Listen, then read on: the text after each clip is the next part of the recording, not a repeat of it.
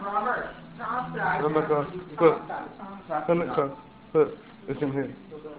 Oh, hello, why you bring out Robert! Come on, man. Robert, why you just that? Shit.